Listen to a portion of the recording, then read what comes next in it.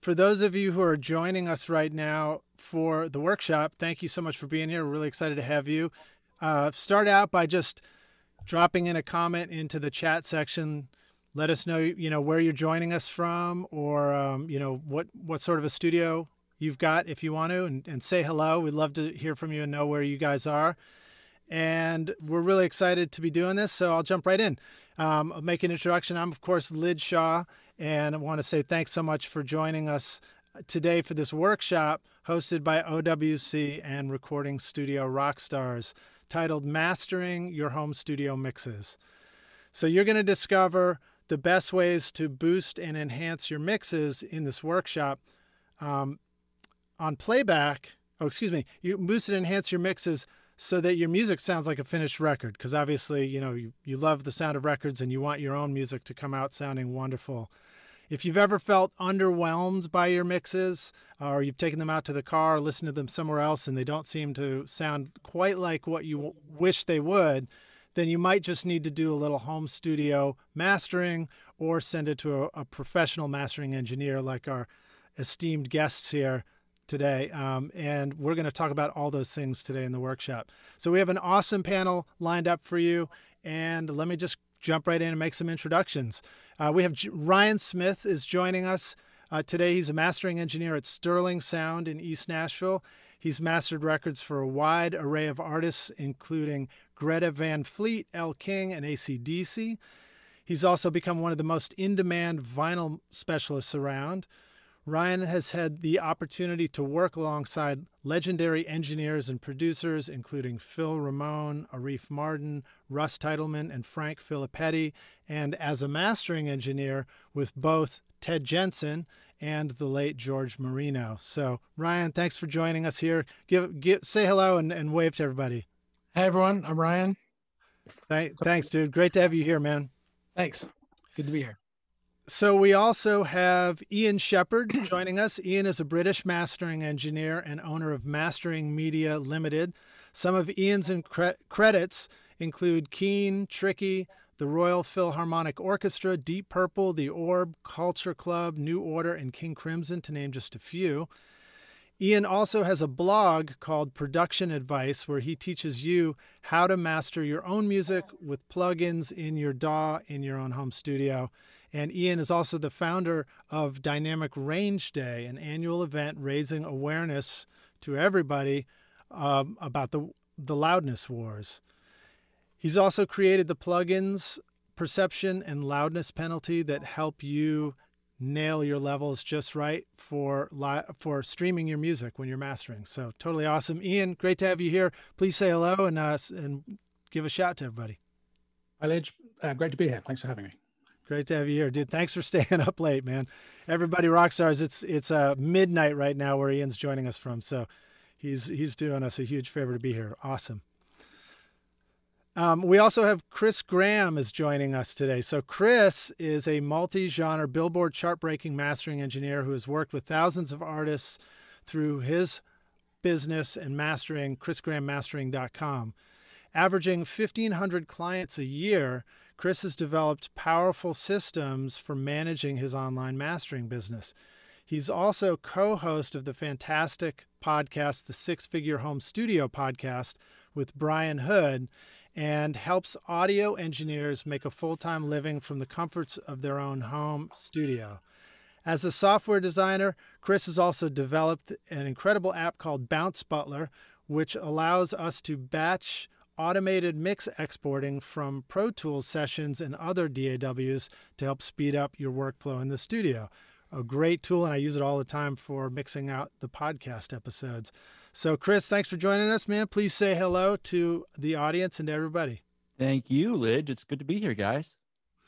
All right, so um, I will jump right in um, Rockstars, everybody joining us on this workshop. We're going to have a full Q&A segment at the end of the workshop. So please make sure to stick around and add your questions in the chat by using the button that allows you to use the Q&A feature. So if you if you use the uh, the pull down menu and switch to Q&A, add your question in there and we're going to be collecting them as we go and we make sure that they all get answered toward the end of the workshop. Also, just a reminder to everybody please uh, make sure to turn off your phones and other items that are going to uh, be distracting because you don't want to miss any of this great content that we're going to get into today. And I want to give a huge thank you to OWC, our host for this workshop. If you want fast drives for composing and recording your music in your studio, and you want to make sure that you have reliable drives for your backup and your archiving so that you don't lose any of your incredible work, um, OWC is a great place to find those for your studio. All right, welcome everybody. Great to have you guys here. I am going to jump in and we'll kind of kick off some questions. I think what I'll do is I'll probably direct a question at, at somebody to start, but uh, but I encourage everybody to please jump right in, Ryan, Ian, and, and Chris, and just jump right in and comment and feel free to to sort of bounce around with any of these topics. Um, I'll jump right in. Uh, Ryan, I, maybe I'll start with a question for you. Uh, why don't you tackle this tough one? What is mastering? Uh, what's the difference between mixing and mastering, for example? Well, mastering is really like preparing something that's already been produced to be to go out into the world. So it's the last the last step to to make any adjustments um, before it's pre- presented to the consumer. You know, up to that point, mixing or uh, recording and mixing, uh, you're you know adding all those creative elements and and, and um, you know creating your song both through uh, recording overdubbing and then mixing. When it gets to mastering all that sort of work is done and now you're just we're trying to package it to make it um, to make it ready for consumers. So that um, that obviously means uh you know eq and compression to make it sound good and have life um, but also you know formatting and whatnot. Um, yeah, I talk a lot about vinyl, what I work and what I do, and that's where mastering started was vinyl cutting. It was that was the original mastering job. And all that was initially was taking a real tape and turning it into a vinyl record. And it's obviously evolved a ton over the years but um but essentially it's it's that it's taking that finished mix and making it ready to go out into the world for consumers to to uh to enjoy. Um that's awesome and i, I apologize. I was a little just in forgetting to um ask you, you know where are you joining from uh, uh tell oh, us yeah. a little bit about your space there in the studio yeah, sure. Uh, I'm at Sterling Sound in uh, Nashville, Tennessee. We know uh, Sterling is uh, traditionally a New York company, and, and, we still have a, a New York studio. But uh, about uh, two years ago, two and a half years ago, we opened up a, a, new studio down here in Nashville, and that's where I'm. That's where I'm broadcasting live from now. Right on, and the, and your studio, of course, is pretty incredible looking. Can we get like a? Is it easy to do a little laptop camera sweep? So yeah, sure. Yeah, sure. So you can see it, it'd be easier to see if it was daytime out, but there's my speakers in the front. I have a surround system, so that's why there's a center speaker as well. The, spe- the speakers are like soffit mounted in the glass, and then there you can see uh, my racks, at least most of them. So, and over there, tape machines. So you win, Ryan. it's beautiful. Thank you. Thank you. I'm very, very fortunate. Very fortunate. Right on. Um, Ian, would you introduce yourself and just kind of tell us about your studio where you're joining us from? Uh, sure, yeah. So um, I've been a mastering engineer for 25 years now. I worked for 15 years at a company called SRT here in the UK, was one of the UK's leading independent mastering facilities. Um, and I left shortly before they closed, um, which scuppered my plans because um, I was planning to dry hire their rooms and uh, those weren't available to me anymore. Um, so this is the little room that I set up at home. Uh, it's not a proper mastering studio. It's just a room where, you know, I can get stuff in from people, uh, give them feedback, give them opinions about whether their stuff's going to be benefit from mastering, record the podcast, record videos, all that kind of stuff. Um, uh, yeah, that's it. I can't move the camera because um, it's over there on a, a stand. No worries, man. No worries. Well, thank you for being here tonight, and thanks for staying up so late. Sure. Um, why don't why don't I get an introduction from Chris too, and tell us where you are, and then Ian and Chris both jump in and let's talk about what mastering is to you guys. Yeah, um, so I'm in Westerville, Ohio. That's uh, just north of Columbus. Uh, I'm in my office. I've got a couple different rooms that I use. Um, this is where we particularly the podcast and all the other businesses I work on. Um, but from a mastering standpoint, um, I got to give a shout out to Audeze. Um, I use headphones most of the time now, believe it or not.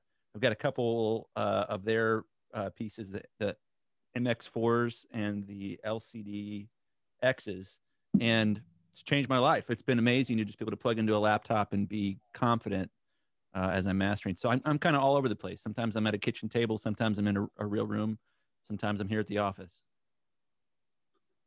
That's awesome, man. That's very encouraging to know that you can master in headphones like that. It was like a born again experience when I finally was like, yeah, I can, this will work. Yeah, it was wild. Um, Ian and Chris, would you like to jump in and, and on this, you know, issue of what is mastering? What does it mean to you guys? And what's the difference between mastering and mixing? Okay, so I have um, an analogy. I like to say that when you're mixing, you're balancing all of the tracks within a song or the channels within a song. So, you know, so you've got all the faders and you're, you're balancing all of those and optimizing the EQ and the compression and all of the processing on each one to get them to make the best possible song. And I like to think that uh, mastering an album is a bit like mixing the songs to make an album. So you, mm. I mean, you could actually literally have every song um, in your DAW on its own fader with its own compression, EQ, settings and limiting settings and maybe some other bits of processing. And then it's you know where do those faders sit in relation to each other? You know how loud should this song be in comparison to that? How much processing is there on each one? How do the eqs work against each other? Um, so i think that's quite a helpful way to think about it. And then my other favorite analogy well there's a i have so many answers to this question i get asked it a lot. Um, i like to say that mastering is making the the music sound the best that it can be um, you know, just wherever it is, trying to get an idea, have some empathy for what the client is trying to achieve, and help them get it closer to where they would like it to be. Um, and then the final analogy is to say that mastering is like Photoshop for audio. So in the same way that you might adjust the color balance um, of a photograph, or the maybe the crop, or the the brightness and the contrast, or take out some little flaws, you know, um, that kind of stuff. You can do exactly the same thing for audio in the final stage. So, you know, you're talking about balancing again EQ and dynamics, um, maybe taking out little clicks or thumps or pops if there are any faults that need fixing, and then deciding how big, how small it should be in terms of how loud, how soft, all that kind of stuff. Um, so, see if you like any of those. Yeah, that's great, Ian. I, I love um, when you talked about getting the songs to all play well with one another. And one of the illustrations I like to use when I'm describing this to somebody um, is to talk about movies. And so right now, um, I'm in the middle of watching my favorite movie of all time, Lawrence of Arabia. And it takes me like a week to watch it because it's like four hours long. And it's just, it's this beautiful movie. And what makes it so great is the suspension of disbelief.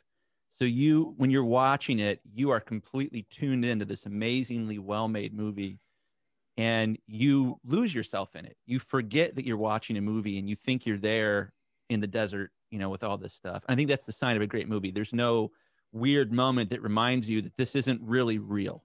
And I think in great mastering, you press play on a song or especially on an album and it transports you somewhere.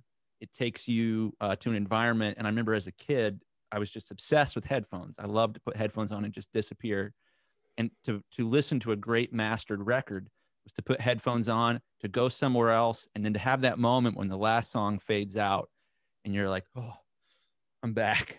Okay.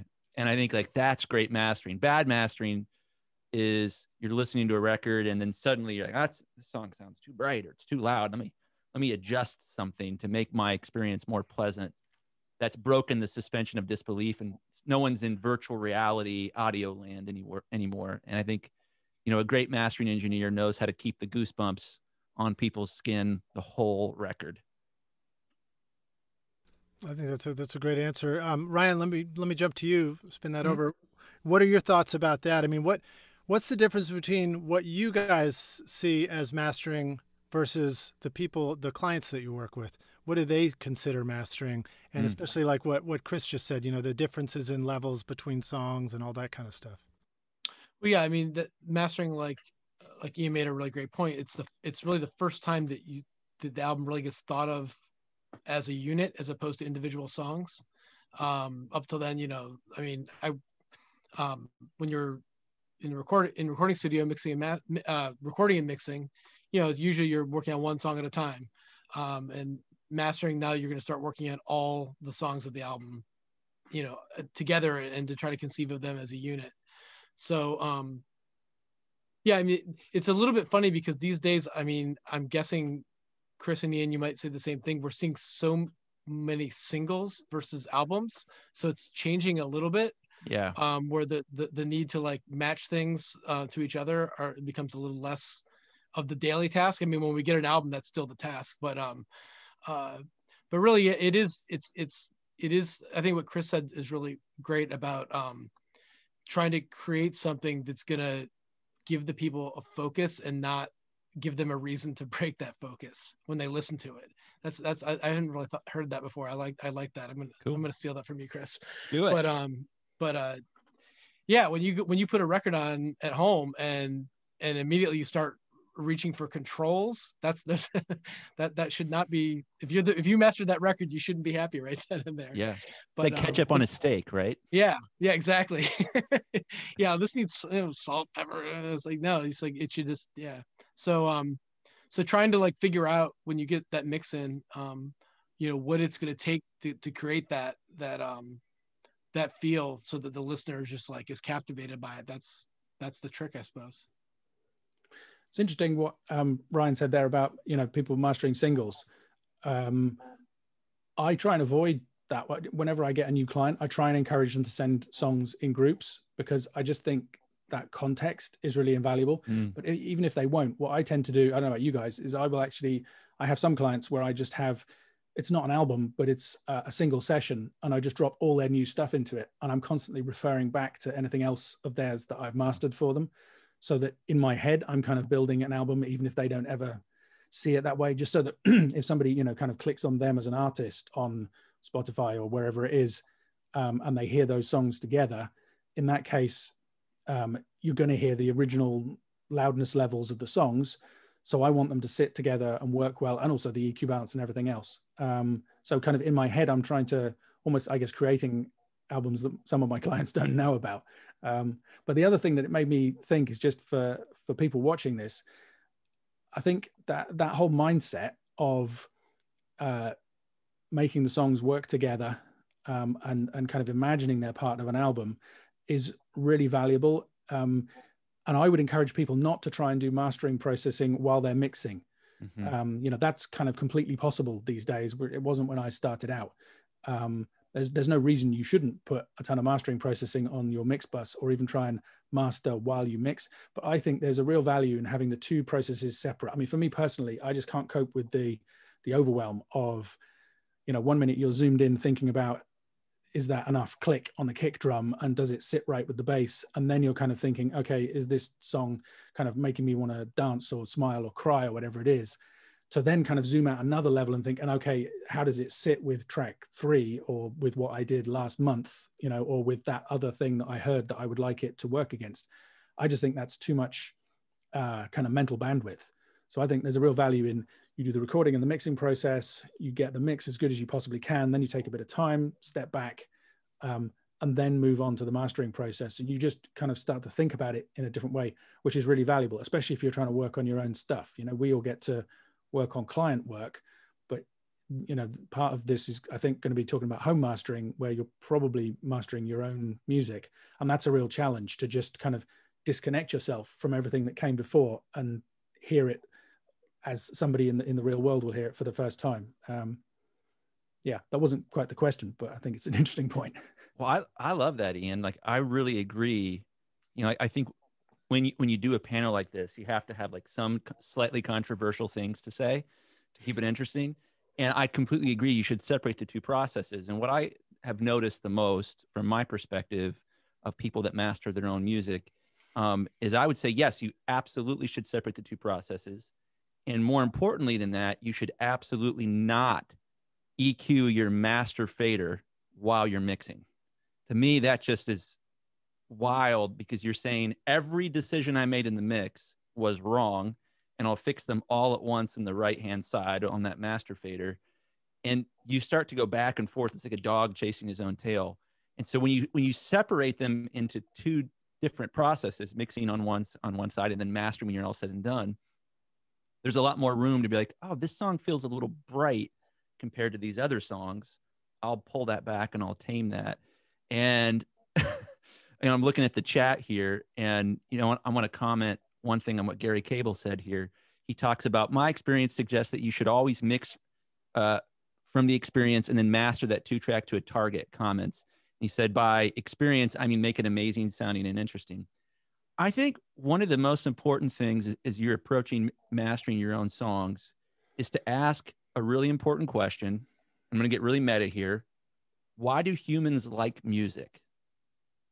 What's the point? Like when if we dive all the way down and ask why 17 times, we're going to ultimately get to why do humans like music? And I don't have any idea.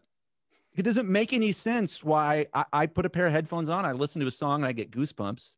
And then I listen to an arguably better song and nothing happens emotionally. I think so. To answer from my uh, just my opinion here is, I think whether you're mixing or mastering, you should always be working towards experience. You should always be measuring your results based on emotions. Does this give me goosebumps? Therefore, will it maybe give other humans goosebumps? And just keeping in mind, like we still don't know why sounds seem to almost have like a spiritual component to them. That's really weird and really mysterious. And I, I think as we're doing this, a lot of as we're mastering our own mixes, I think a lot of people get wrapped up in the tech. They get wrapped up wrapped up in the uh, technical decisions that they're making. And I would imagine most people on this that, that are watching this right now probably are in that sort of zone when I think you should be diving down and asking the question, what creates emotional engagement? And every decision you make should be driving towards that end. That reminds me of um, one of my favorite the the whole thing about you know kind of technical stuff versus emotional stuff. Um, uh, I always look less so nowadays because I don't do as many attended sessions, but especially when you've got the clients in the room, and I try and notice it in myself. You're looking for the head nodding moment, right? Yeah, that bit yeah. where you stop thinking about the settings and you're just like like this or whatever it is you know maybe you're swaying around or whatever it's something you get some kind of physical reaction to the music that's when you know it's all working and totally totally like likewise i like i like to when i'm working on something because you know when you listen to a song over and over and over again no matter how good it is it can start to lose that magic. Um, so a lot what i like to do often is you know take a break from something and work on something else or even sit on it overnight if i don't have a, a deadline that, that that can't live with that. And when i when i come back to it i try to like I sit like just far enough away from the console and the mouse and the keyboard so I can't change anything and just listen to it and force myself to not, you know, start doing that again and see if it really does hit me and you know and and and, and see if I can sit there and just be engaged with it for for four minutes or however long the song is um, without just being like oh God, i gotta you know start you know changing more things. Um, yeah so i mean that's that's a that's a way you can kind of like if you're working on your own stuff that's a way you can maybe you know judge are you getting that you know that emotional thing? Is like to step away for for a minute then come back to it and just force yourself to listen to it without touching the knobs and and, and see if it's doing it for you. And if it doesn't then you know dig back in and and uh, try to get something that's even a little bit more. It's weird. When you touch the knobs that's like self-esteem. Every time you you adjust something you're like yeah i know what i'm doing. Yeah. And that that desire for self-esteem has wrecked many a master in my studio. Mm-hmm. That's so funny that you mentioned that thing, Ryan, about sitting there and like, can I sit there and not want to? I just remember when I started out as a trainee, the first thing I started doing was copying tapes, just flat transfers from one place to the other. And Sure. it was, it was kind of torture because you'd be sitting there and you get about 10 minutes in. It's like, that sounds fine. And then the 50 minutes in, oh, ah, I, there's not enough 50 hertz or, or there's too much 2K or whatever it is. And after about half an hour, it's torture because you're just sitting there going, I want to fix this. And you can't. yeah Um, let me jump in with a, question at the risk of this being technical, but you guys talked about listening to, to it in different speakers and things like that. I know monitoring can be important. Um, I imagine between the three of us, we got a wide variety of what monitoring means. So tell us what that means to you guys, and, and what about to people you're working with, or if they're mastering on their own, what should they what should they think about as far as monitoring and trying to find that emotion?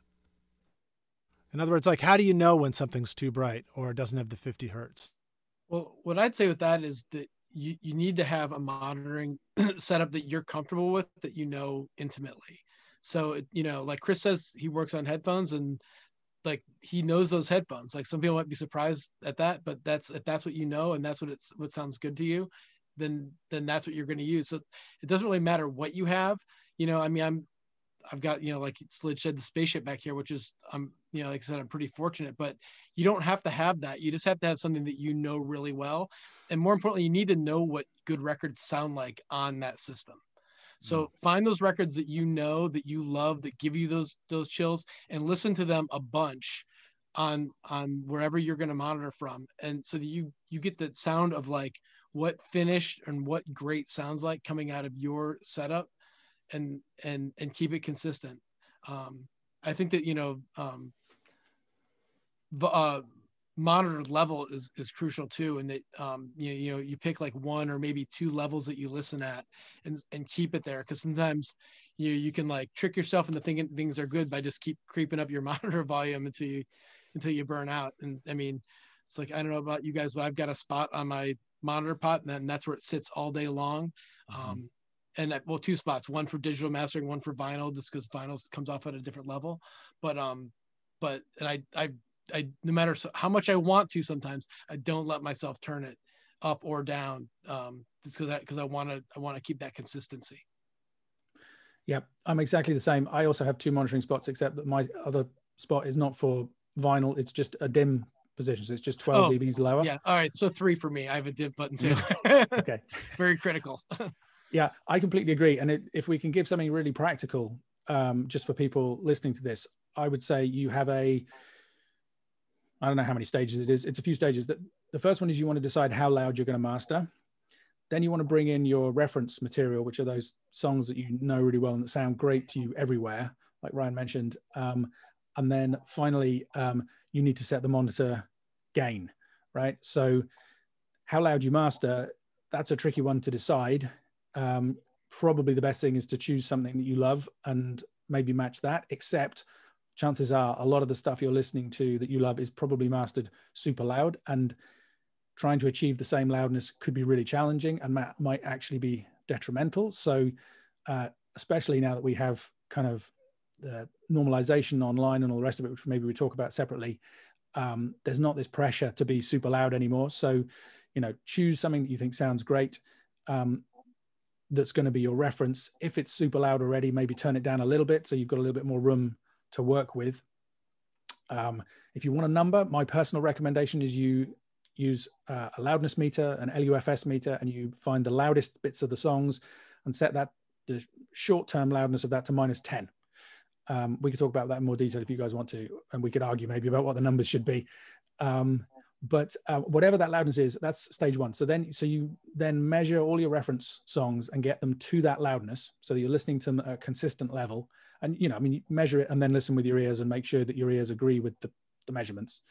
Um, then you've got those in your DAW as your reference material, and then you can set the monitor gain, your playback monitor gain, so that you know I would say it wants to be good and loud, but not kind of fatiguing, not not kind of uncomfortably loud.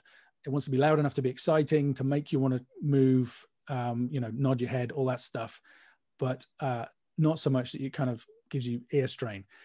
Because when you've done the process in that order, then really you can just use your ears. I mean, you can use all the metering and all the other stuff as well. But if you get it to sound right at that monitoring gain, it's going to be a similar loudness to the loudness that you chose for your reference tracks and you're going to be in the right ballpark and that's when when you found that monitor gain which takes a bit of experimentation then you don't touch it like ryan says um, and if you keep listening to stuff my other tip is to just listen to music constantly i mean yes the, the stuff that you love but also just anything you know when you're soldering cables or doing your accounts or typing emails whatever it is just constantly have music on in the in the room to learn what all your favorite music sounds like. It's like you don't have to pay any attention. You'll just subconsciously pick it up. It'll just kind of diffuse into you. And then when you go back to working on your stuff, you'll have this instinct over time of what it should sound like.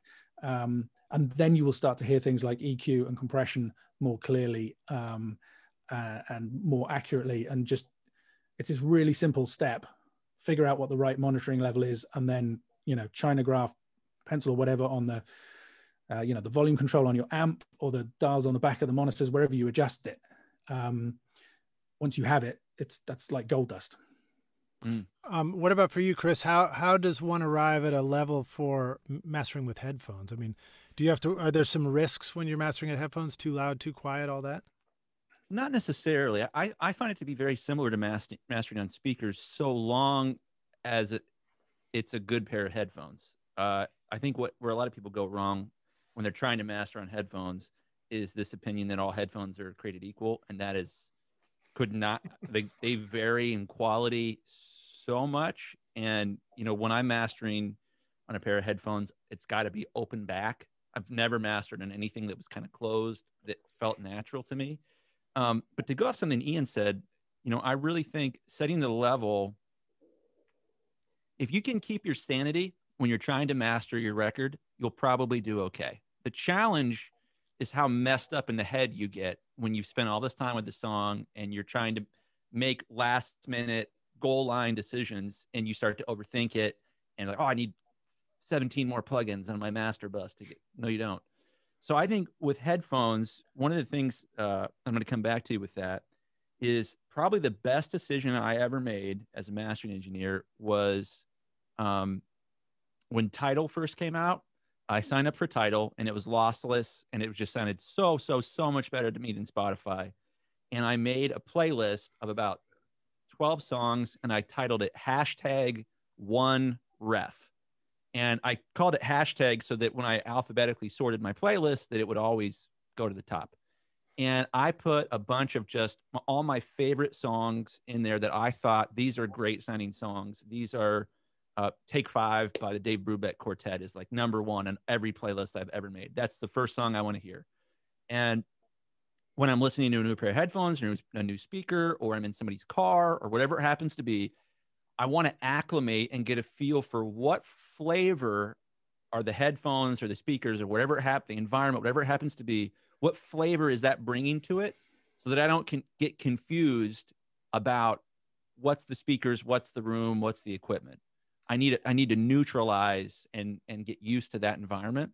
And having that go-to playlist uh, made it so that I could quickly try new equipment um, and get used to it. And one of the things I think where headphones really have an advantage over speakers is, like Ian said, I think the key is that's awesome. David uh, Street, I think I said that wrong, says I use Take Five as a reference too. Um, but one of the great things about headphones is you can use them all the time. You can outrun somebody with speakers simply because you can have them on. if you're crazy, you know, you can mow the lawn like that. if you've got a quiet mower, but a hmm. perfect example, I mentioned, you know, I'm watching Lawrence of Arabia right now. And, you know, every year or two, I watch that movie and just marvel at what an amazing piece of art it is. But I'm listening to it on a pair of $3,000 headphones. So I'm sitting there watching a movie, entertaining myself, still getting used to how those headphones sound. And, you know, you can't be in the studio 24 hours a day. And with headphones, I'm not saying you should only master on headphones, but I think having a pair of headphones that you can take with you. You know, I see uh, um, Ian's got what are those 650s in the background? Spectacular headphones. Those are absolutely wonderful and pretty affordable too. Um, well, oh, go ahead. Go ahead and finish if you if you're finishing. Yeah, I mean, just my thought is have a playlist that you'd go to that's not 50 songs, but like a dozen songs at the most, and just listen to that everywhere that you possibly can. Um, and I think that just gets it, it gets a lot easier to know where you sit to have a, a playlist that you just know like the back of your hand. Awesome. Well, let me let me spin it back to you, Ryan, and let's um so we don't run out of time and we touch on some of the technical stuff. Sure. What are the tools that that um, we should be thinking about if we're going to start mastering, you know, with this understanding of levels and stuff? What are, you know, how do we use things like EQ, compression, limiting, any of those? Just just a sort of a basic introduction. I imagine people sort of want to know like what order would we use them in as well, and is it different than mixing? Um, yeah. Well, I I would probably first circle back to what Ian said about um, mixing and mastering simultaneously. I would also agree that it'd be best to separate those two processes. Um, I think when you when you ma- when you mix into a mastering chain, you know, assuming that you know you're going for like you know a, a modern you know rock or pop type sound, you're probably going to be going relatively loud and uh, that mastering chain can i think sometimes end up being a crutch on your mixing side of things where you're not really hearing things or the the compression or eq is working against mixed moves that you're making. So, you know, I kind of had a, you know, kind of learned the hard way a few times earlier in my career where I would get things that were really heavily bus processed um, hmm. in from clients, and I'd ask them if they, oh, can you take that off because it'll be better if I master with it off. And then I, what I would get back was like, it's like the mix completely fell apart, and I realized this. Oh, they're they're mixing into this stuff. If you, you can't take it off at this point, you can't undo it. The whole mix um, relies on that mastering chain. So I would really recommend um, you know either a light touch on the master bus when you mix or or none and and save your mastering for after for uh for you know a, a separate a separate stage. Um i've gotten into as, so much go ahead. Yeah go ahead. No, no no go ahead please. I've gotten into so much trouble with the exact same thing where I'll, you know I'll ask a client could you take your mastering bus process off? And it's like part of the upload form um, for me. And if they're using a lot of eq in mixing they'll take that off and i'll get it and be like hmm, like, I'm going to have yeah. to be more aggressive than I'd like to be. And I don't think they'll approve it if I add 6 dB at 10K on, you know, their masters, not knowing that that's exactly what they did. Yeah. And so that's for that reason, if they do have master bus um, effects on i'll usually ask for both. Can, you know, and likewise if, if you're if you're mixing and you need 10 d or 60 b of 10k on your master bus then maybe you need some more yeah. 10k sprinkled throughout all the other elements of your mix. Totally yeah pump so the brakes that, that that's that's that's kind of what i'm talking about where you're it's like, like the mastering bus be kind of becomes a crutch for everything else so. Yeah totally. Ian do you have anything you want to add to that? Well just to finish off that point completely i'm going to completely disagree with you guys um, often when I'm mixing, I will put EQ on the not compression. I'm not a big fan of compression on the the master output, but I do quite often use EQ because if I'm listening to it and just thinking, oh, well, the cymbals sound a bit dull and the vocals could do it, why put EQ on 24 tracks, 36 tracks, whatever it is, when you can just add a single move on the uh, the mix bus? But I would agree. I'm some people mix into heavy compression, some people don't. Um, I think either is fine, um, but personally, I prefer to be able to achieve the results without heavy processing on the, the stereo output um, for exactly the reason that Ryan says. I don't like the idea that if I take one processor out of the chain, um, you know, my mix falls apart. Mm. Um, so uh, there's that. Just to come back to your question, Lij, about the the order that people do the processing, I have fairly strong opinion about it, uh, which would be interesting to see whether the guys agree with me. I would say set the level first. So just bring the raw mix up to whatever your chosen mastering level is going to be. Um, the reason for that is that if you don't, you're not hearing it accurately. Um, there's this thing called the the loudness curve or the equal loudness curve or the Fletcher Munson curve or the smile curve, uh, which basically says that as you turn things up, our ears pick up more bass and treble. Nobody knows exactly what it is. Um, it might be uh, Lij, you've heard me say this before, an evolutionary process where uh, we have evolved so that we pay more attention to uh, the jaguar that's just over there uh, breathing down our neck rather than the one that's over there stalking the herd of gazelles, right? Because threats that are nearby are more of a threat and therefore should be more interesting to us. And maybe the brain makes sounds that are louder and therefore seem closer, more exciting. Nobody knows. But it's a fact that if you just turn stuff up, you hear more bass and treble. So if you turn that backwards, if you don't get the level of the music right to begin with, and you make a bunch of EQ moves, and then you turn it up, your opinion about whether those were the right EQ moves or not is going to change. And chances are you're going to have added too much bass and treble, and you'll end up going around in circles. So for me, stage one is always get the level set right. Um, that's also a great thing because it means that if maybe that's all it needs. You know, if you have 10 songs that are really well mixed, um, maybe all you have to do is get the levels of them correct relative to each other, maybe some very light limiting just to catch the peaks, and you could be there.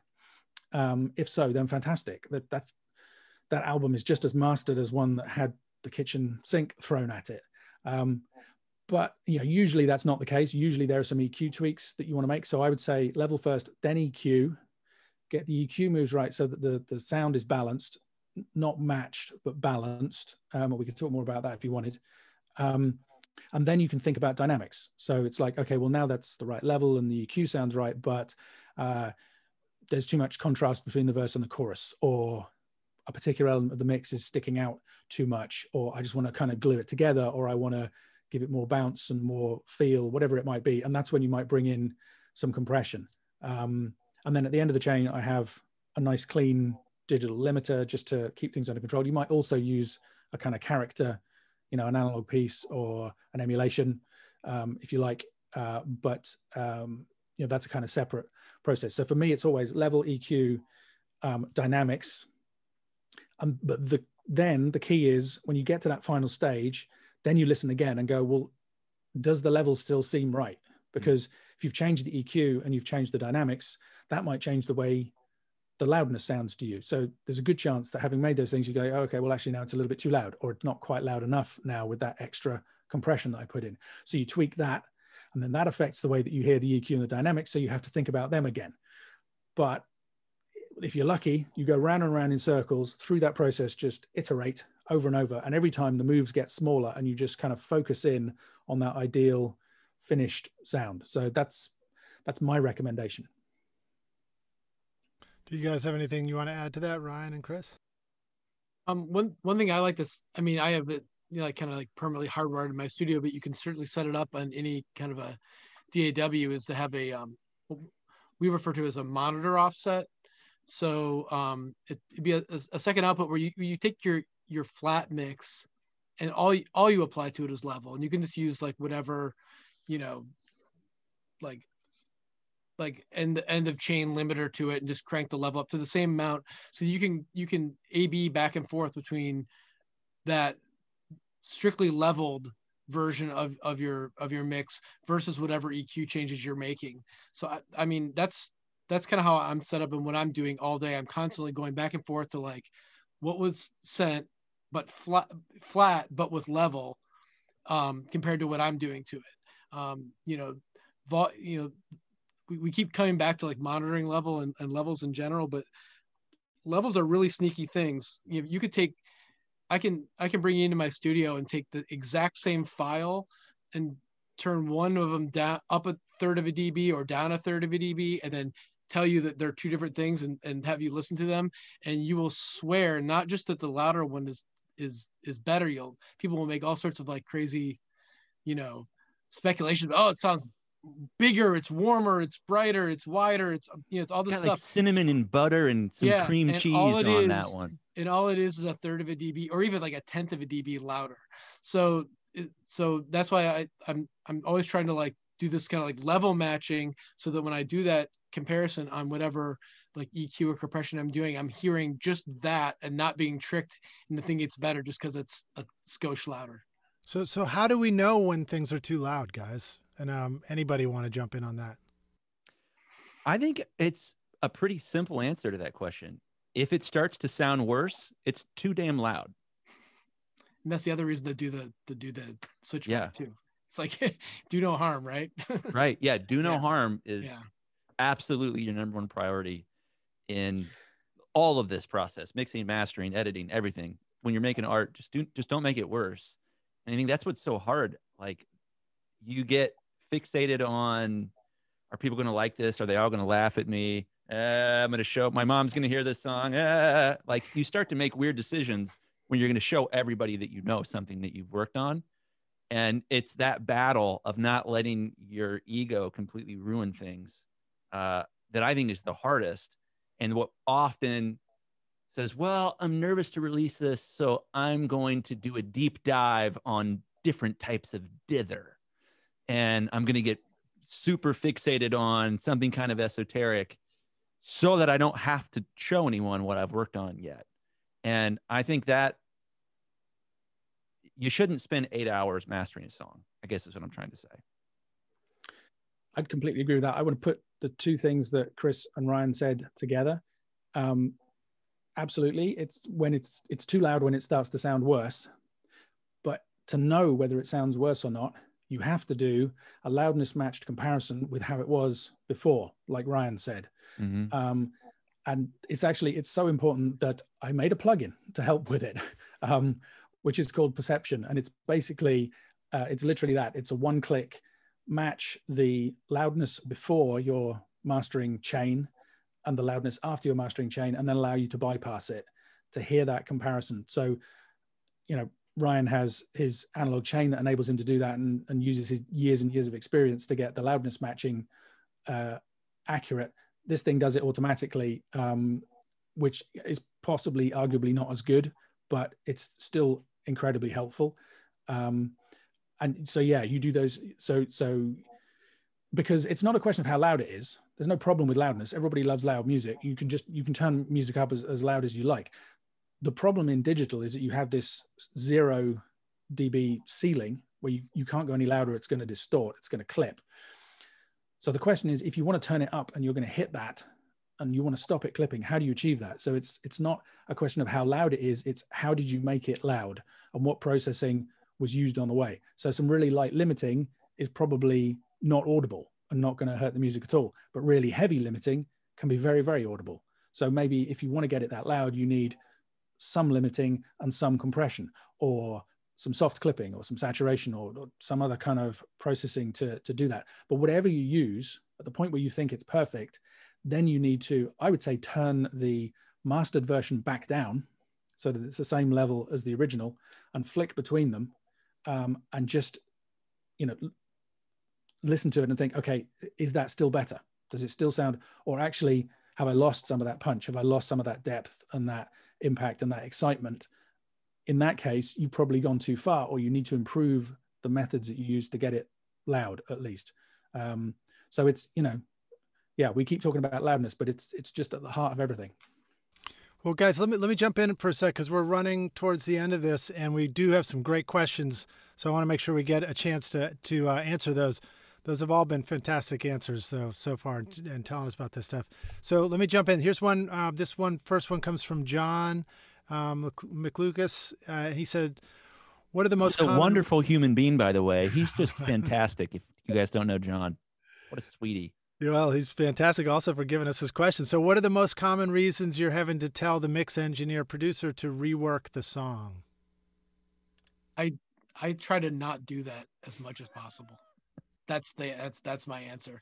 It's I don't I'm not a mix engineer, and I feel like every time I try to give mix advice, it just backfires on me because I don't you know there's a reason why things sound the way they do do in the mix, and I don't know what I don't know where the bones are buried in those in those multi tracks.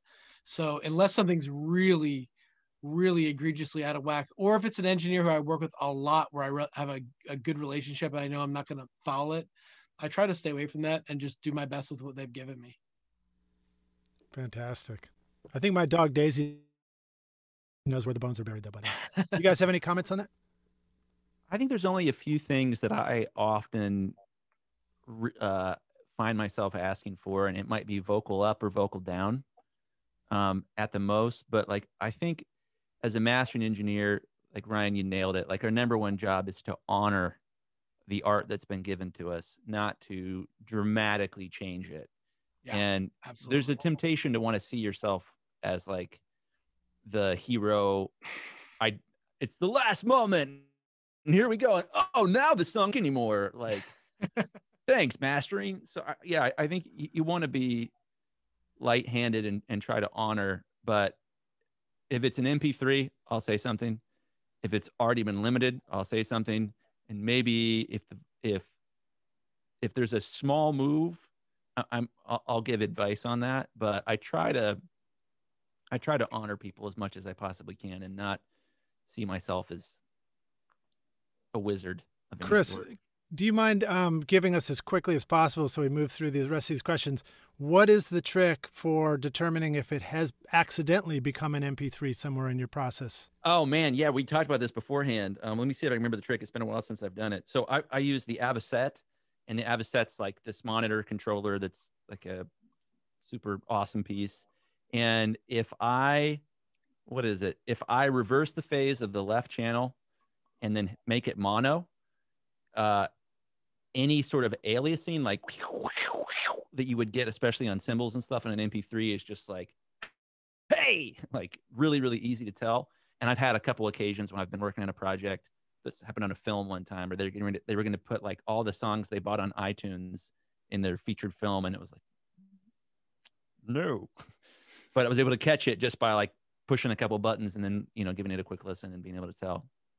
Awesome. Let me jump to the next one. Um, this one comes in from Louis um, Ramos. Do mastering techniques different differ for music versus film production? Having mentioned film, maybe Ian, if you have any thoughts about that too. I think I think it depends what you mean. I mean, the film has for film you have the dub, um, which is where you know you, everybody's seen those shots of the mixing desks that go, and that's where they're bringing in the dialogue and the foley and the effects and the music as well. Um, but you don't do music mastering at that stage. I mean, that's effectively the mastering stage for a film, um, but it's not mastering because it's still kind of mixing. Um, I mean, one of the things about film is that uh, most cinemas are set up using either Dolby Digital or uh, THX specifications. So you, I mean, we were talking about fixed monitoring gain.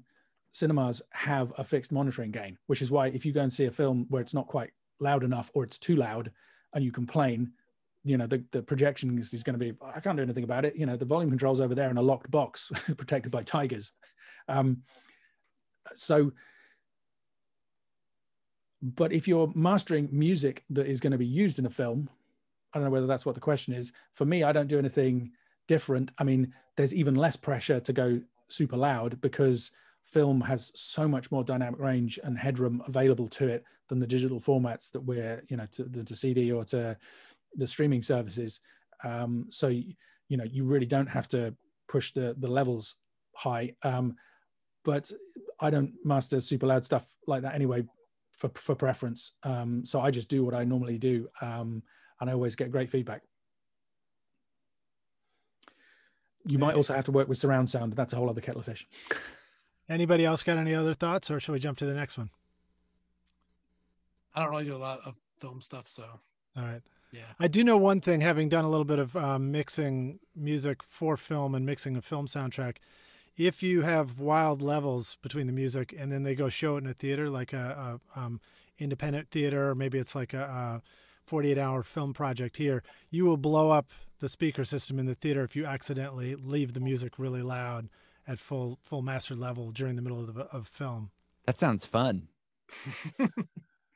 Okay here's here's another one. This also from louis um, or lewis okay usually the format for audio cd is 44 1 16 um, again, Always. it says 44 1 kilohertz, 16 bit. Now, because of the Digi World, you can change the format to 44 24, 48 24 bit. Um, I guess it, I'm not sure if how that question is. Maybe what, what do you guys want to say about file formats when you're mastering? So I'm going to, this might be controversial. I'm going to say you should still supply pretty much everything at 44 16. Um, the streaming services can actually cope with different sample frequencies and bit depths. Um, but there's so much confusion out there. You because you, you, can't send stuff direct well you can send stuff directly to spotify but the chances are most people are sending their stuff to an aggregator right? So to tunecore or distrokid or one of these uh, companies that are going to upload the music to all the different platforms. Um, their specifications change and basically i don't trust them to do a good job of turning my 2496 master into whatever is needed for uh, for their yes. service. Amen. Um, the only exception to that would be if it's a service that specifically supplies high res files. So Tidal, Qobuz, HD Tracks, um, Apple, um, iTunes, they're, they're mastered for iTunes thing. They can accept high res files and they will do a good job of it. Um, so yeah, even though you can theoretically supply higher spec stuff, I would say stick for 16 44 and also because i mean it sounds amazing you know if you if you do it right um it sounds incredible. So why not? Yeah when i when i master i, I master at whatever the highest resolution it comes in at at 24 bit but my final my delivery to my clients for their references is 4416 so if you send me 9624 i'll i'll master it at 9624 but then I'll do my own conversion down to 4416 and deliver that to you. And then also then you're getting the lowest resolution that it's going to go out into the world then and you, you know that's which is which is beneficial if it sounds good there it's only going to sound better going back upstream. And then I also have the high res masters available if you need them for a for a high res service as well. Um, is it smart for clients to ask you guys as pro mastering engineers to also, can you please send me the high res one? So I've just got it in the folder at home or whatever for the future. Yeah. Mine as sure. well. Yeah. Yeah, I mean, it, most Future professional mastering services will keep the stuff archived and could produce it at a future date. Um, but you know, if, if you get it at the time, if they charge extra, it's going to be likely to be uh, reasonable, um, and then you know you've got the files. All right. yeah, Groovy. most mastering engineers like to, to go off what Ian said and to give a plug to our sponsor here have an enormous hard drive, like me, the Thunderbolt 4 from OWC with 12 terabytes of space. Like, Yeah. Yeah, no, I was going to ask that too. Um, you know, what do you guys do for backup, and and and what's important to know about backing up all your stuff and just keeping it around forever?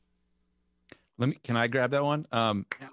one, um, I will never forget the first time I ordered my first OWC SSD and I put it in my G5 and I ran my boot drive off an SSD and it was this like oh like the most glorious day. My computer ran so much faster.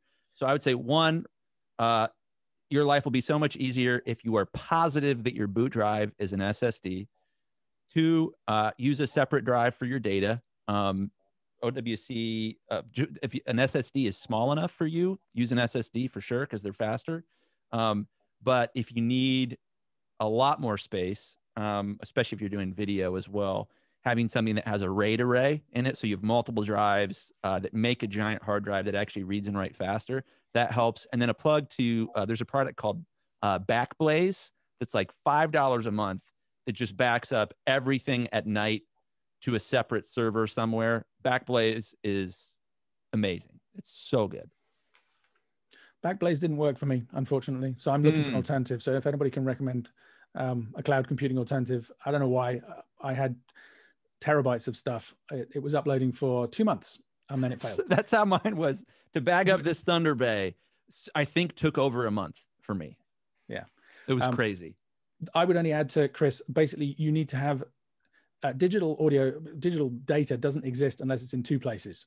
So every drive that I have on my system has an, uh, another drive that is the same size or bigger, and every at least once a day, everything on that drive gets updated to match what's on the drive that I'm working from. So if the drive that I'm working from dies, I can just plug in the other one and go.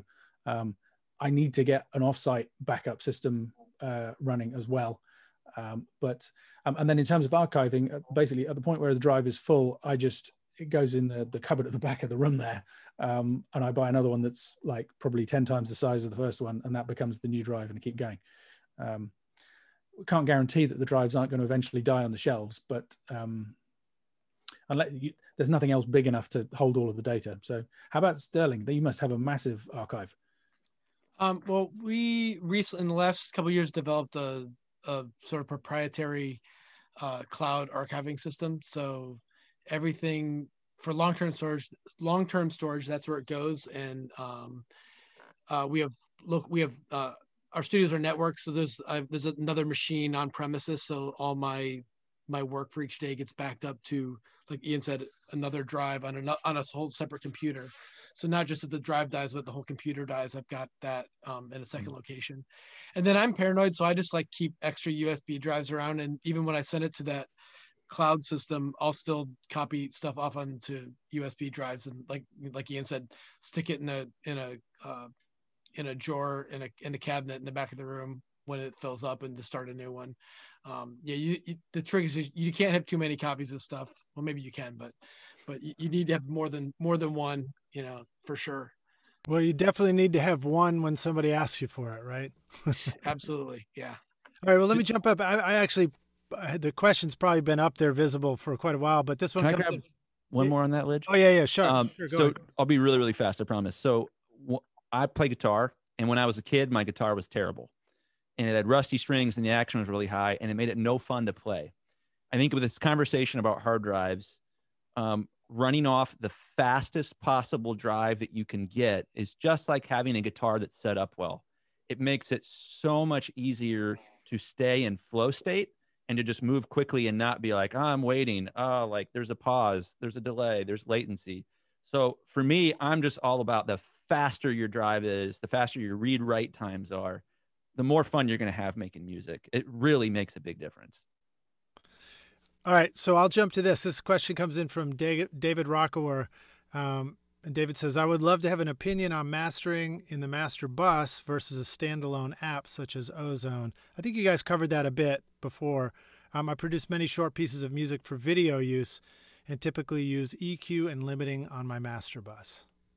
Um, anybody who wants to jump right in on that. I think we we kind of covered it. I, I think we don't recommend it.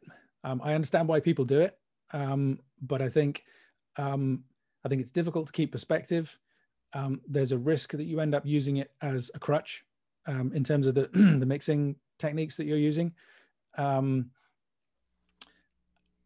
yeah, that's, basi- that's basically it. I mean, in, in terms of like uh, using a standalone, there's no reason you shouldn't do mastering in the same DAW that you mix in.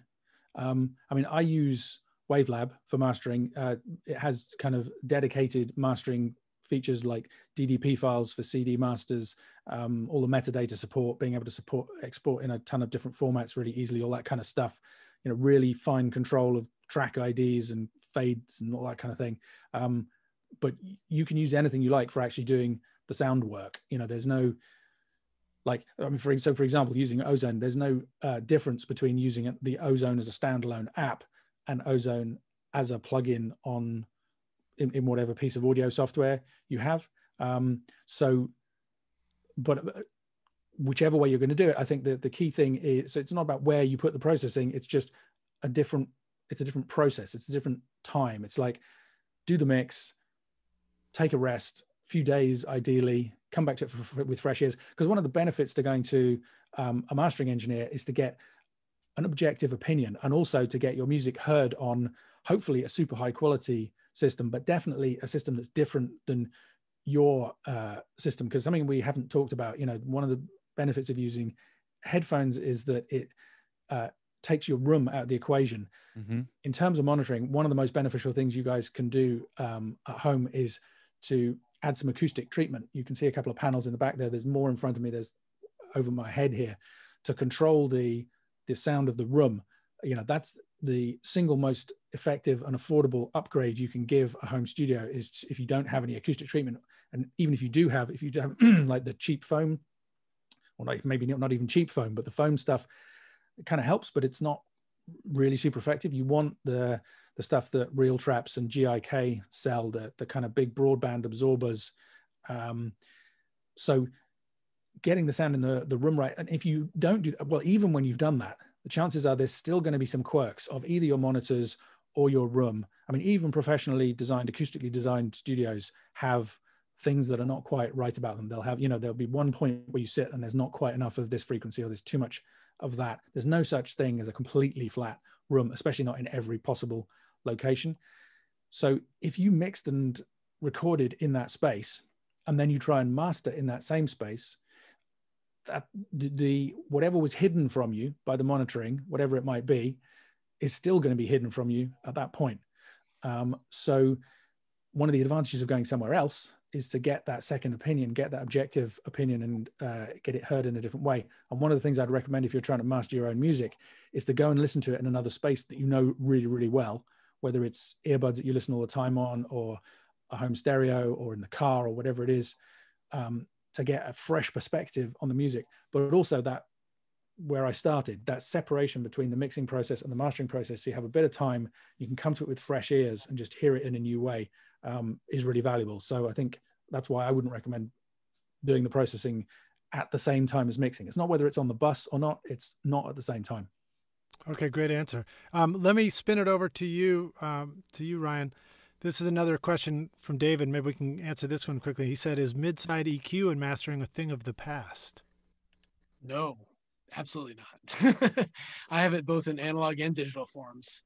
Um, uh, no, mid-side is a is a super powerful tool. Um, yeah, I mean, I don't know what to say about it, but besides that, you know, I use it um, pretty much on almost everything. I mean, maybe not everything, but quite a lot of things.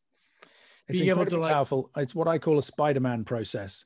Uh, with great power comes great responsibility. Yes, yes. Um, amen. You yes. you can achieve minor miracles with mid-side uh, EQ in mastering, and I wouldn't recommend using mid-side compression, by the way, but mid-side EQ um, but you can also cause a whole ton of problems. So just Yeah. be careful. Definitely agreed, and I agree with you about the compression thing. I almost never use it in, in uh, compression in midside, but um, but midside EQ, especially, I mean, when you're trying to, you know, when you, I find it especially um, beneficial on the low end, just being able to like, you know, most rock pop mixes, the bass and the kick drum are up the middle, and be able to like affect them without affecting like the low end of guitars, keyboards, and other things that are on the outside. Um, another trick I do a lot of times is, is to roll low end out of the sides to, help um, clear the and focus the center of the of the image on the low end. Um, so no, it's, it's it's definitely not a thing of the past. And um, I mean, it's great because there's so many plugins now that have it as just a standard feature, um, and to do it pretty well. Um, so yeah, but yeah, but but Ian's also right. You, you got to be judicious with it. You don't want to. You can get carried away, and all of a sudden you have a mix that like sounds like it's like you know flying around your head and Yeah. out of phase and whatnot. Um, let me let me ask this too. This was a question that came in from Corey, um, and it's related. to what You're talking about the tools, and you had mentioned iZotope and, and ozone and stuff. Um, what do you, what do you guys think of automated mastering tools? For example, iZotope's ozone has a feature in it that will help you get you know get to a certain point. How how should people think about using any of those tools? Let me hop in on this. So I'll go back to my initial question. Why do humans like music? We don't know. When you're writing code, when you're trying to build an algorithm, you're you have to have input that you use to dictate the logic. Mastering and any other kind of art is deceptively difficult to write AI around because you can't cue off the human soul you can't look at it and say well this will make people more emotional than this will as as a computer unless you are keyed into a human. So while i do think it's always getting better and it's going to continue to get better we need to keep in mind like there are significant limitations uh, uh, with ai when it comes to art because we don't understand art. We just know we like it. I think that's a great answer. I would uh, go back to, I mean, on the one hand, what the AIs can do is pretty amazing, pretty impressive. You know, they, it's like with some material, in some cases, they can produce quite okay results. Um, but if you if you go back to the mastering as Photoshop analogy, um, you know, in Photoshop, if you're tweaking images, a pro color grading specialist is going to spend hours choosing how much blue there should be, how much red, what are the skin tones? Do I do the same thing on this part of the image as on there? You know, depth of field, all that kind of stuff. We go in there and press the wizard button, right? And the magic, the the, the wand, and it goes ping, and it looks better. Um, that's kind of for me what those automated processes are. Um, if you're lucky, because because that's the other thing. Sometimes you click the magic wand and it doesn't look better. You know, it either looks worse or it just looks the same. Um, if you're lucky, those automated mastering processes can give you a reasonable result. I think what I would say out of the options, you know, there's the online ones that just kind of give you a, a finished product back, um, and you have almost no control over it. I haven't used Ozone Mastering Assistant, but what I understand about it is that it basically gives you some suggestions, and you can then tweak those. And I like that idea much better than the online kind of one size fits all thing. I think you know if especially if you're starting out on this stuff and you're kind of like well what is my music supposed to sound like? I mean a remember the suggestions we gave you for getting reference material and setting the levels and all the rest of it. But yeah why not plug it through the the, the mastering assistant and see what it gives you and see if you like it. Um, but don't just kind of assume that that's what it should sound like. It's like if you listen to it and go well i like this but i don't feel like i want to dance as much that was a bad thing. And you either tweak the settings so that uh, you can improve on it or you just throw it away. Um, but yeah, I mean, I think if you want to experiment with them, you know, why not? I, I think that if you're at this seminar right now and like you decide to give up your Thursday night to like listen to the three of us pontificate about mastering, then you owe it to yourself to dig in there and and and and mess around with it and not have something do it for you. It's I mean, those things maybe are good starting points to kind of get an idea of where you should go, but but don't be afraid of it. It's, you know, um, if you're already this far into the process, you know, yeah I think the- you the- I think you owe it just to to to, to try to do it. And um, Yeah. yeah. it's a funny thing. It's like, you know, you date somebody for a really long time and then you propose and then you spend $4 on the wedding ring. like, there you go.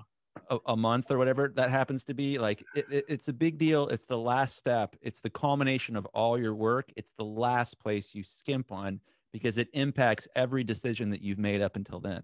Yeah i mean i would go i would mm-hmm. also say like you know if you can afford to go to a, a proper separate mastering engineer for it that's it's well worth it especially in this day and age where like it's been said you're you're probably going to hear that mix over and over again in only that one same environment of your of your home studio or whatever um, just to to get it in the hands of somebody who doesn't have any kind of preconceived notions about it who hasn't like doesn't have that song like rattling around inside their head mm-hmm.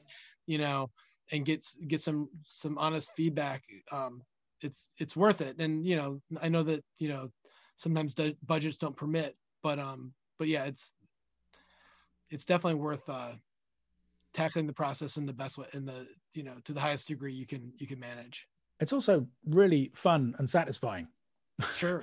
Yeah. You know, it's like we spent our careers doing this. I mean if you'd have told me when i remember when i was at college and i kind of first thought oh i could be a studio engineer. That would be cool. I imagined myself recording and mixing. If you told me that i was you know just doing stereo processing on and that i would find that satisfying and i mean i it, it still amazes me. I find ma- mastering kind of somehow magical because it's like you make these tiny little changes over these songs and it just transforms the end result. Um and i yeah i i, I agree if you if you're still watching this listening to us uh, talking about this stuff you, you need to have a go at this stuff and just experiment and have fun with it yeah, well, it's kind of like if you grew up with component stereos too, or like my first car, I had a 15 band graphic equalizer that I installed under the car stereo. I just spent all day tweaking. I mean, it was a danger on the road because I was just trying every little frequency and seeing how it sounded, how it could make the music better.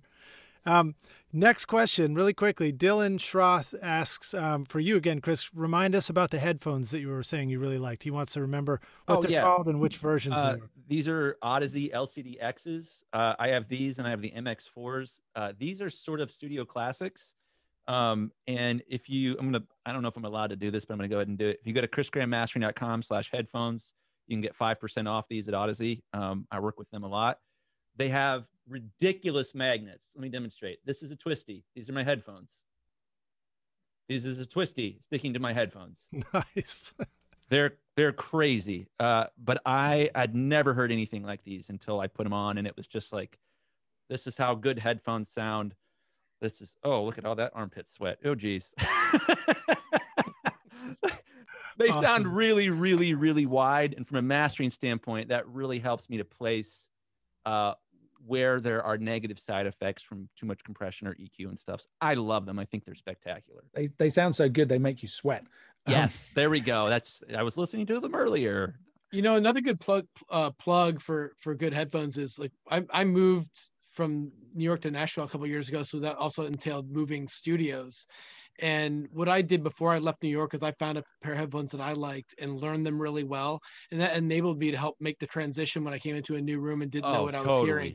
And for you guys who are moving around studios or might be working at a friend studio or in and out of recording studios to have a pair of headphones that you can take with you and plug in and and be like, okay, and then listen to the monitors and be like, okay, now I have an idea of like, you know, of what I'm hearing. It's it's really invaluable to have that to have that. Yeah. And I don't I don't use them a lot anymore, but when I first started in this room, I had the headphones on and off constantly. Yeah, they let you travel, they let you transition, yeah. and boy, having that in your back pocket is a heck of an insurance policy. Yeah. And so one final tip on headphones. Um, I want to try the Audeze, um, but um, I do have the the Sennheiser HD 650s, which are you know they're only a few hundred dollars. Um, but the other thing that we haven't talked about that you might want to experiment with, and it's a slightly controversial topic, but um, I have a custom SonarWorks profile for those headphones. I don't use SonarWorks on my monitoring. I mean, it, you, you guys probably know about it. It's a piece of software that will tries to improve the EQ response of either your monitors or your headphones. Uh, sorry, hitting the mic. Um, but um, so I haven't tried it on my monitors, and I'm skeptical about it for monitors because uh, monitors in a room is a much more complicated beast. But I, I will say that um, the you know they have a generic profile for kind of you can you can just get it and go oh HD 650s okay, and that will change the sound and maybe it's a bit of an improvement but i wasn't completely convinced by it but when i got the custom profile for that specific pair of headphones um, that really did make a dramatic improvement to the point where you know i was listening to my to my playlist my reference material and kind of going yeah that sounds that sounds about right I totally um, agree. Um, Sonarworks sent me a, a, pair of 650s with the custom profile. We almost did like a sponsorship deal with them a number of years ago, and it was like, oh, that's cool. That sounds great. Yeah. I think um, that's great. And it's a good reminder, guys, the way you guys talk about learning the headphones, because I think most of us, before we have great headphones or flat headphones, we don't know what that sounds like. So we have to relearn what music sounds like with those, and we can start making the right decisions. Um, here's the next question. This comes from uh, Gaetano Vaccaro. Um, Hi, all. Thanks for being here. Wondering how to figure out when something you're mastering has issues that need to go back to the mix. Some of these questions you guys have mm-hmm. kind of already answered. So if there's any closing thoughts or if we've already answered it, we'll just keep moving right through them. I could add something very quickly on that.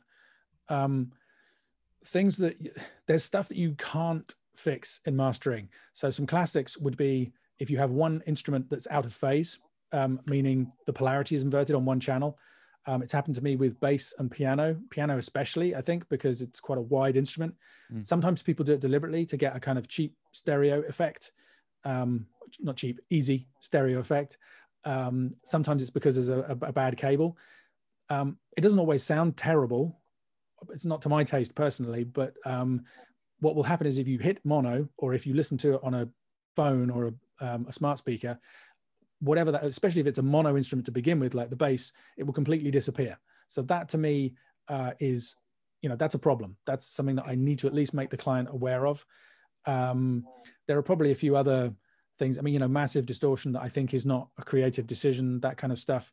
I mean, we we all talked about, we all agree that we don't like there are some clients who like having their mixes sent back to them i know there are some mastering engineers where step one is okay you need to fix this this and this. That's not me and it sounds like it's not uh, chris or ryan either. Um, eh, but a little more me yeah.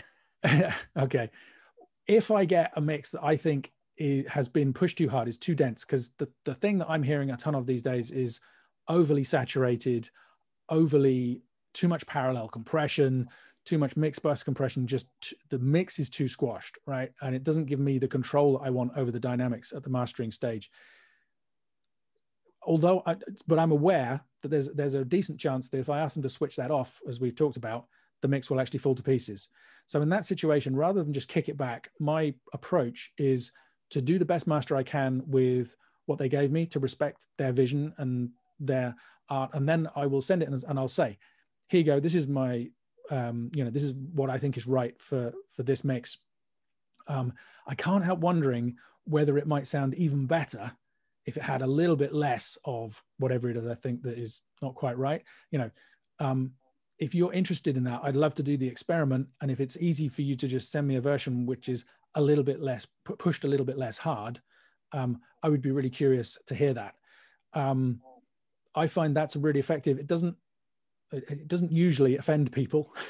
um, and you know, if they need it tomorrow, they can just come back and say, no, that's what we got, go with it. And it's okay, job done. And the master's done, nothing's held up, everything can proceed. But if it's a client who's like, oh, that's interesting. Yeah, no, we used the thing and it, you know, okay, we'll hit, and then they send you something.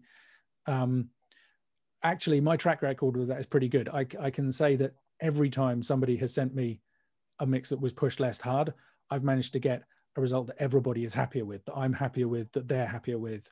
Um, so I think it's a worthwhile step. Um, this sounds weird, Ian, but that like makes warm and fuzzy feelings well up in me that you that you do that. So kudos.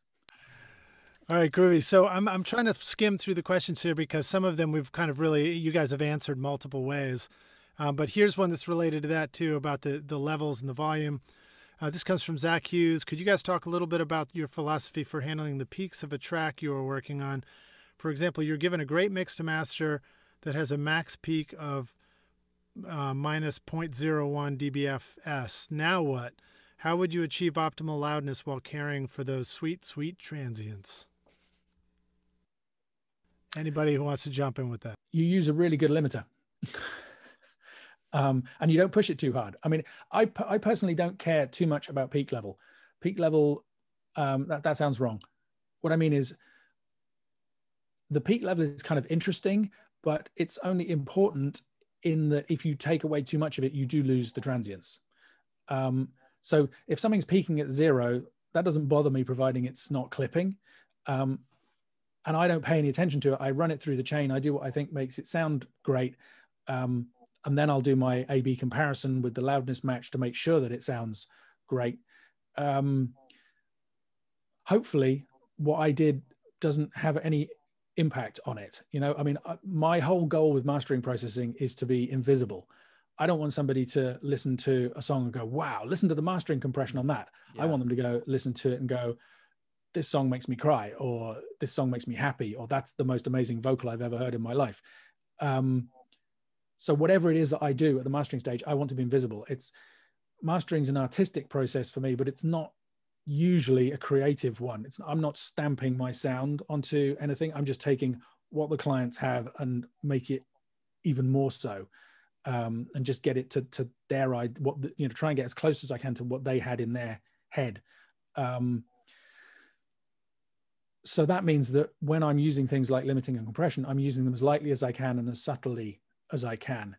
Um, so usually if you if you have something that needs a ton of processing, it needs that processing and it will sound so much better in so many ways that you won't notice that okay, maybe the transients aren't quite as good as they were.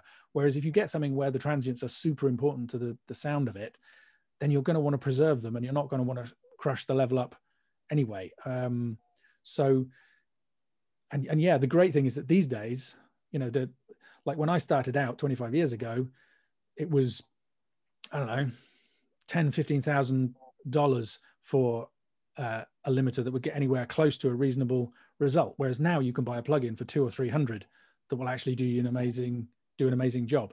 Um, so it's it's very achievable, providing you you're doing the right stuff with it. You know, it's it's not what you use, it's how you use it and what your goals are and what's involved in that process. All right, very cool. All right, so we're we're really nearing the end here because it's going super late. And Ian, you're such a champion for joining us at this late hour. Um, here's one from William Wardlow, which is different. Nobody else has talked about this yet, which is, um, you know, he just said, could you guys touch on multi-band? So when and how should we think about multi-band in mastering? And maybe Ryan, if you feel like starting on that one. Um, multi-band's kind of a enigma.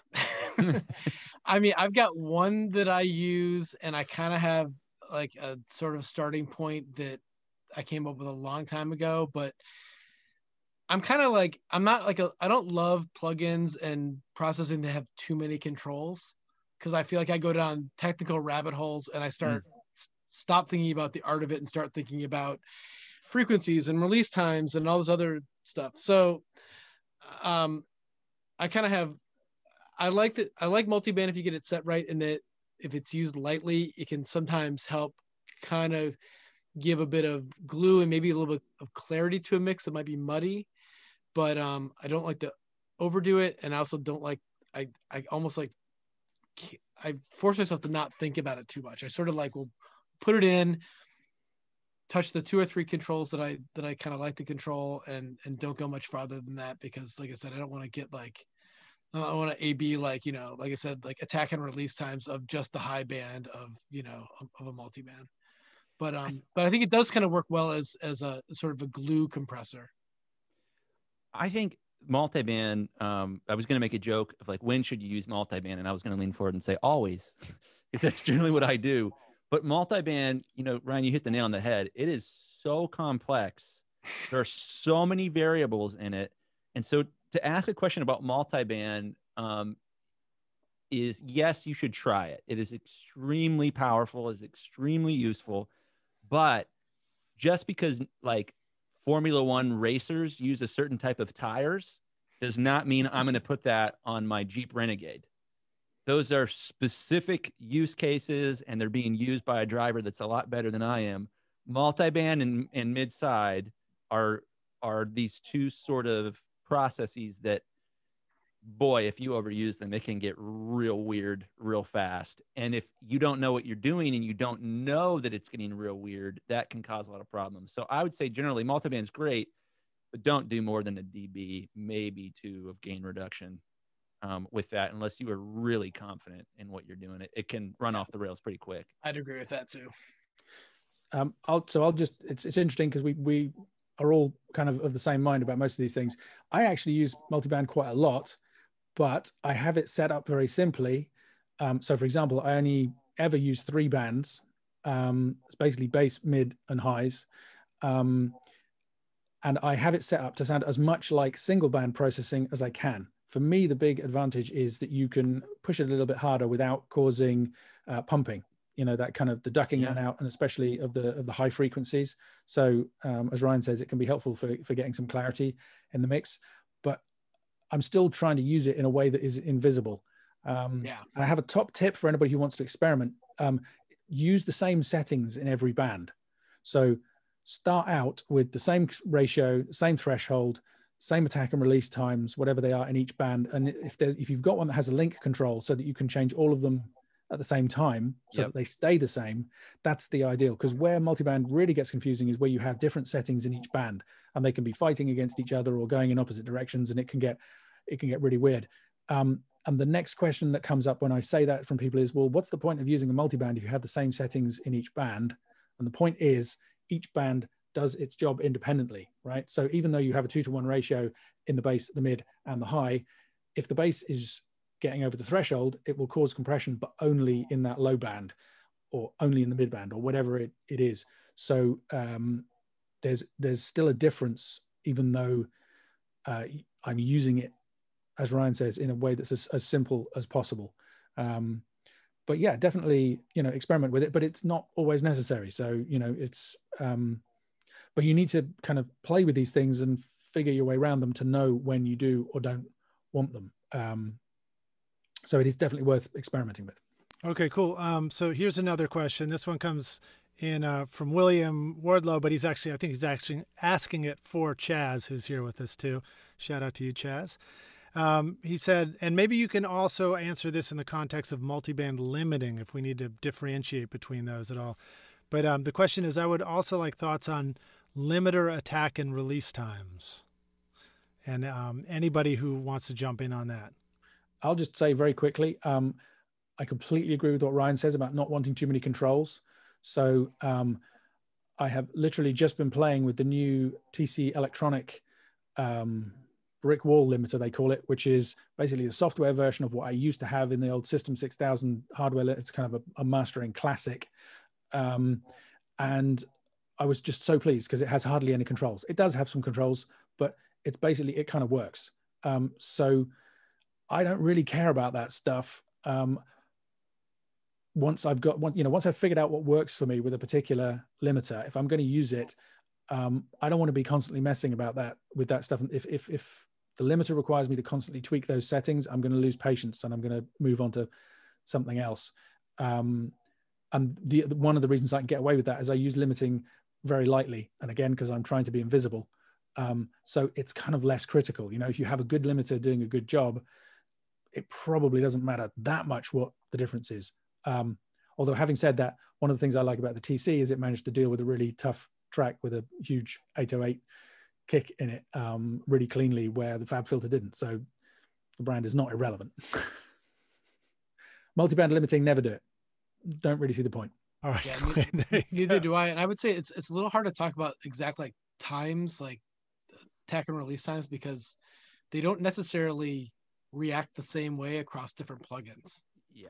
Because different algorithms are written the same way. So I, I mean, but I am kind of like Ian that I, I mean I've got sort of like, you know, like preset starting points for different plugins that that just generally generally kind of work, and then you know I can choose which one to use or not use, and and maybe make small adjustments to you know within the track. But uh, you know I would say just you know experiment. I mean, a lot of the a lot of the higher end plugins that come these days, they they come with presets that are usable to start with. So yeah. that's a good place to start. I mean, a lot of times I get something new um, that I'm just playing around with. I'll I'll just do that and be like, oh, what do they got in the preset menu? And if I find something that I like, then I start use that as a starting point to, to build off of.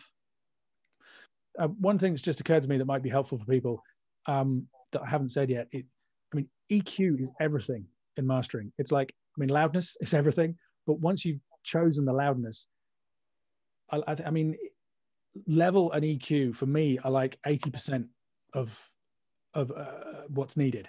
You know, all the other stuff, MS, um, the dynamics processing, stereo width, saturation, all these kind of fancy, you know, all the rest of it.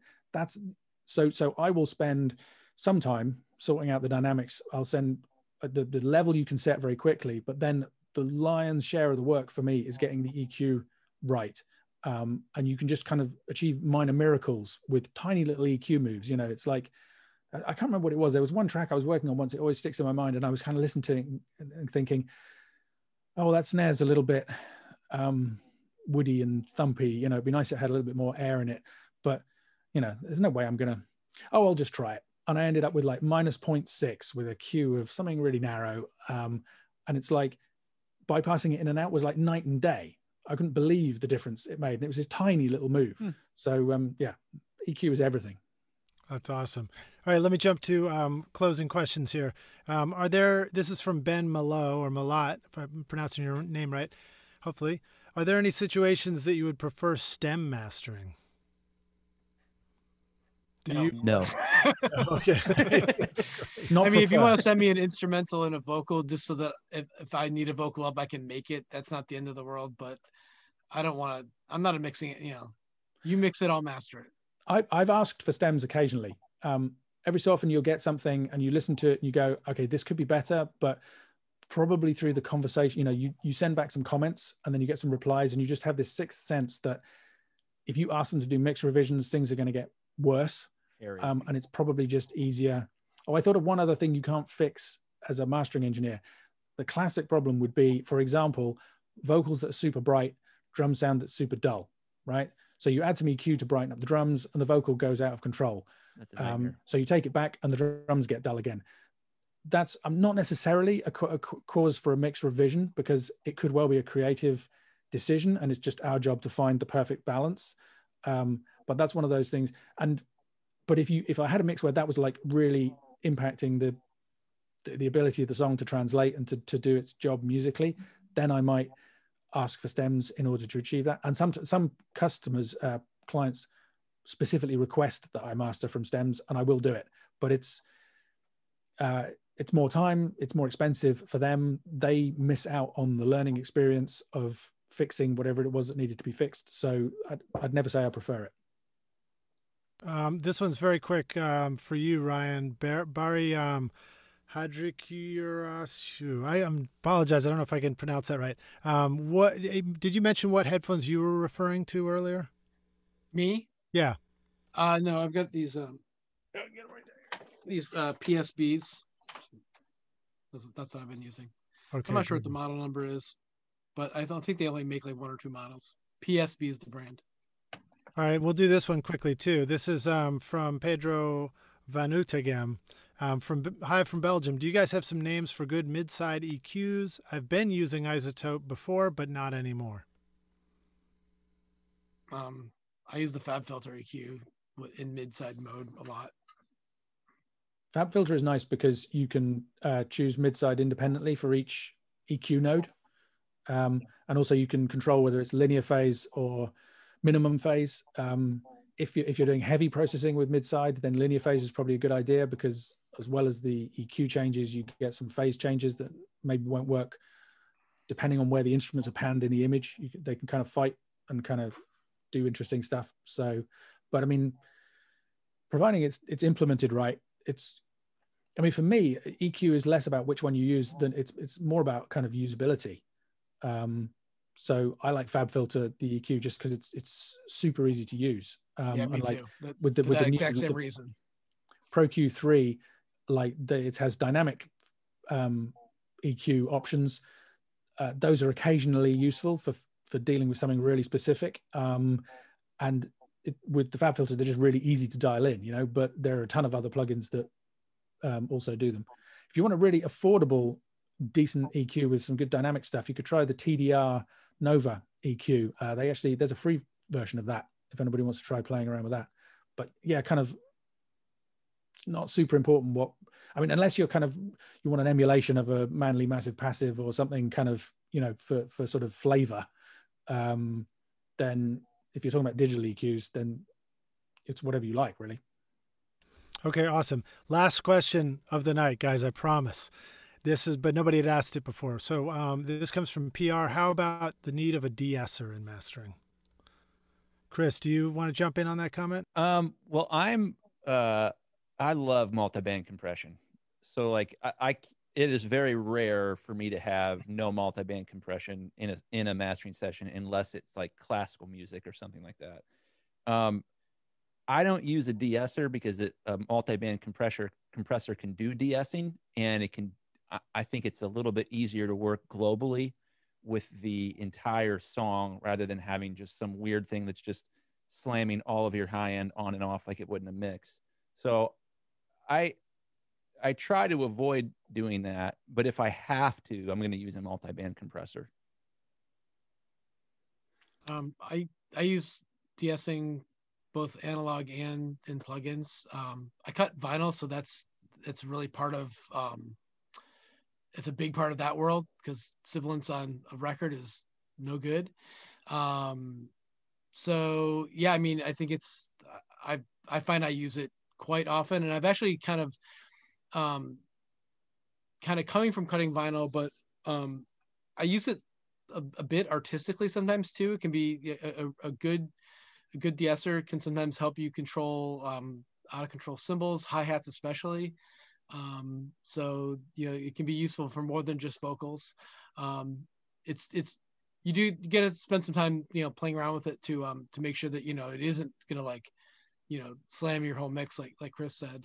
Um, but uh, yeah, I, I, I find it de-essing to be an invaluable mastering tool, and also in MS mode because you can you can hit the vocal and not hit the cymbals, or mm. vice versa. Yep, I'll I'll just say I don't like using it, but you have to sometimes. Um, and uh, yeah, then I would echo what the, what the guys have said. One, I don't know whether to, to recommend it. There's a plugin called uh, Soothe by oeksound, which is kind of a bit like a de-esser, but it um, it will going on all kinds of kind of weird, spiky, resonant frequencies, and it's another Spider-Man thing. It's like you've got to be really careful because it can seriously mess some stuff up. But if you have a really kind of challenging um, issue, uh, de-essing kind of issue, that can be useful. Um, but actually, again, I mean, the FabFilter uh, de-esser I found in terms of software is, is pretty good. Um, the classic in in mastering is the Weiss um, de-esser, which is now available as a plugin. I think Softube of uh, was not an emulation; it's a port. It's literally exactly the same as the the old hardware. Um, so yeah, it's sometimes it's it's invaluable, but it's it's so, much better to get it done in the mix. Um, so, but it can work. And I'll offer this, and just in case anybody ever feels like complaining about the price of a quality plugin, when you mention something like Weiss, I'm going to guess that that de-esser used to cost about ten thousand dollars to buy one for your studio, right? Something like that, yeah. Okay, you guys are such champions for doing this with us. Thank you so much for being here. Um, thank you, all of you who have been here joining us tonight. Just incredible. Um, again, a round of applause to MVP for the night, Ian Shepherd, joining us. I think it's about 1.30 in the morning where you are. Um, great. Let, let me do closing stuff. So, um, Ryan, can you please let the rock stars know where, where can they find you? Where should they go follow you? And if they need to um, get their next record mastered, where should they reach out to you? Well, they can find me on uh, sterlingsound.com. Uh, you can, uh, I'm on Instagram. RKS with Smith is my handle there. Um, yeah, that's that's either of those places you'll find me easily enough. Awesome. I almost couldn't get to my mute button there fast enough. Thank you. Thank you so much for being here, Ryan. Yeah. Um, Ian, please let the, everybody know where they can find you. I'm everywhere.